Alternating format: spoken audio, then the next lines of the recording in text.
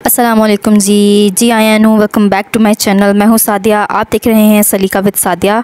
आज आप लोग के साथ मसालेदार भिंडी की रेसिपी शेयर कर रही हूँ। तो चलिए रेसिपी को बनाना स्टार्ट करते हैं। अच्छा भिंडी आपने लेनी है नरम। मैंने यहाँ पे जो है, वो ताज़ा भिंडी ली है और हर भिंडी को एक इंच के पीस में काट लिया है। भिंडी का नरम होना बहुत ज़रूरी है। पकी हुई भिंडी नहीं लेंगे आप। और मैंने यहाँ पर लिए हैं जी चार अदद टमाटर। टमाटर को मैंने क्यूब्स में काट लिया है। इस तरीके से देखें, जिस तरीके से मैं आपको दिखा रही हूँ, टमाटर क्यूब्स में काटे हैं और यहाँ पे मैंने तीन अदद बड़े साइज़ के प्याज लिए हैं, जिनको मैंने मोटा काट लिया है। साइज़ आप इनका देख सकते हैं। और मैंने चार अदद बड़ी हरी मिर्चें ली हैं और हरी मिर्चों को मैंने इस तरह से काट लिया है बड़े बड़े क्यूब्स में। ठीक है जी तो चलिए अब मसालेदार भिंडी बनाना स्टार्ट करते हैं। यहाँ अपनी कढ़ाई रखी है चूल्हे पे मैंने और उसके अंदर जाएगा अब तेल। ठीक है जी, तेल आपने थोड़ा डालना है क्योंकि इस पर हमने प्याज को और भिंडियों को फ्राई करना है। अब मैं ऐड कर रही हूँ इसके अंदर प्याज। प्याज को मैंने एक दफ़ा सारा अच्छे से मिक्स कर लेना है ऑयल के साथ और अब मैं इसको ढक्कन लगाकर पाँच मिनट तक के लिए स्टीम दे दूँ। आप देख रहे हैं प्याज का कलर जो है वो चेंज हो चुका है। आप देखें कि प्याज जो है वो ट्रांसलूसेंट हो गया है, नरम हो हो गया है और अब हम इसके अंदर ऐड करेंगे भिंडी। भिंडी जो है यहाँ पर ऐड कर दी है मैंने और भिंडी को ऐड करने के बाद अच्छे से मिक्स कर लेंगे। मिक्स करने के बाद इसे हमने पाँच से सात मिनट के लिए मीडियम फ्लेम पर फ्राई करना है। अच्छा भिंडी जो है वो लेसदार होती है। जब आप इसे फ्राई करेंगे तो फ्राई आपने इतना करना है कि इसकी लेस जो है वो ख़त्म हो जाए। आप यहाँ देखें कि जब मैं चम्मच से भिंडी को नीचे गिरा रही हूँ तो उसकी लेस बिल्कुल नहीं दिख रही तो इसका मतलब ये है भिंडी जो है फ्राई हो चुकी है। और भिंडी को फ्राई इस तरीके से करना है कि ये जले ना। ठीक है तो ये कुछ टेक्निक्स होती हैं जो कि मैं आपको वीडियो में बताती रहती हूँ, इन्हें मस्ट फॉलो किया करें। अब हमने उसी कढ़ाई के अंदर हसब ज़रूरत तेल डालना है। अगर आप ज़्यादा तेल खाना पसंद करते हैं तो ज़्यादा ऐड करें और अगर कम तो कम। तेल के बाद अब जाएँगे इसके अंदर कुछ खड़े गरम मसाले। खड़े गरम मसालों की मकदार कुछ ये है।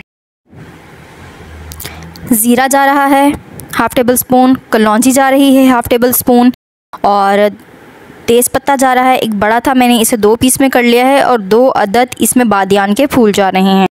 इन्हें जो है कड़कड़ाने तक हमने पका लेना है। जब ये कड़कने लग जाए तो इसके अंदर जाएँगे टमाटर। टमाटर ऐड करके हमने अच्छे से टमाटर को भी दो तीन मिनट तक फ्राई करना है। अब आती है बारी मसालों की। आधा टेबल स्पून लाल मिर्च पाउडर, आधा टेबल स्पून हल्दी पाउडर, आधा tablespoon mix vegetable masala और हसब ज़ायका नमक। मसाले डालने के बाद इसको अच्छे से मिक्स करेंगे और एक कप पानी इसमें डालकर इसको ढककर हम पकने रख देंगे। टमाटर जो है यहाँ पर नरम हो चुके हैं। और अब इसके अंदर जाएगा इस मसाला भिंडी की रेसिपी का सीक्रेट इंग्रेडिएंट तो वो खुफिया इंग्रेडिएंट जो है, वो है दही। इसके अंदर दही में डाल रही हूँ वन थर्ड कप और दही डालने के लिए आपको ये बात याद रखना लाजमी है कि वो दही खट्टा होना चाहिए। ठीक है जी? तो अब मैं इसको दूँगी ढक और मैं इसको पकाऊँगी पाँच से सात मिनट के लिए। तो पाँच से सात मिनट हो गए हैं। अब यहाँ पर आप देखें कि मसाला जो है, वो कितनी अच्छी तरीके से पक चुका है और हर तरफ़ से ऑयल जो है, वो निकल गया। मसाला जो है वो पकने की निशानी ही ये होती है कि मसाला जो है वो ऑयल को छोड़ दे। जब मसाला ऑयल को छोड़ देता है तो आपका मसाला अच्छे से फ्राई हो गया है। आप यहाँ पर देख सकते हैं जिस तरह के मैं आपको वीडियो में निशानदही करके दिखा रही हूँ। तो अब इसके अंदर जाएँगी हमारे फ्राई किए हुए प्याज और भिंडी।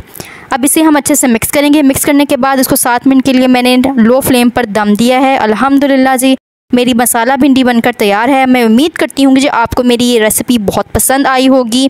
और हाँ यार, याद रखा करें कि जी आपके लिए इतनी मेहनत से, इतनी मज़ेदार सी रेसिपीज़ लेकर मैं हाज़िर होती हूँ डेली बेसिस पे। तो मेरी वीडियो को लाइक करना ना भूला करें। मेरे चैनल पर नए हैं तो इसको सब्सक्राइब कर लीजिए।